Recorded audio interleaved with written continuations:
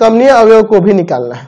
व्युत्क्रमणीय अवयव निकालना है। इनवर्टिबल एलिमेंट तो मान मान ए बिलोंग्स टू जेड का व्युत्क्रमणीय अवयव व्युत्क्रमणीय व्युत्क्रमणीय अवयव व्युत्क्रमणीय अवयव व्युत्क्रमणीय अवयव बी है। ठीक है?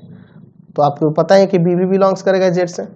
चलो, मान लेते हैं बी है। तो आपको पता है कि जब वो व्युत्क्रमणीय अवयव है तो ए और बी का जो ऑपरेशन होगा, या बी और ए का जो ऑपरेशन होगा, वो आइडेंटिटी एलिमेंट आएगा। तो आइडेंटिटी एलिमेंट ई आएगा, या फिर ई की जगह हम लोग फोर भी लिख सकते हैं यहाँ पे। आपको पता है ना कि जब यह व्युत्क्रमणीय अवयव हो रहा है तो दोनों का ऑपरेशन क्या होगा? क्या आएगा जी? आइडेंटिटी एलिमेंट आएगा ना? व्युत्क्रमणीय होने का पता ही ना हुआ। चलो तो ए ऑपरेशन बी बराबर चार। ज़रूरी नहीं था कि हम बी माने, यहाँ वाई मान लेते तो यहाँ पे वाई लिख देते। एक्स मान लेते तो एक्स लिख देते, कोई फ़र्क नहीं पड़ता है। यहाँ पे जो मानना है वो मान लो। ठीक है तो हम बी मान के चले उससे कोई मतलब नहीं है। ठीक है, आप चाहते तो यहाँ एक्स कर लेते, यहाँ भी एक्स कर देते, यहाँ भी एक्स कर देते। अच्छा इसका ऑपरेशन क्या होगा? तो ए प्लस बी माइनस चार बराबर में चार। क्लियर है?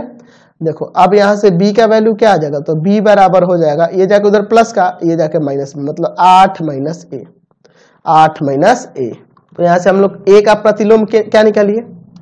A का इनवर्स जो हम b माने थे ना, जो कि किसके बराबर है? एट माइनस ए के। क्लियर हो गया? समझ में आ गया कैसे निकालना है? चलिए भैया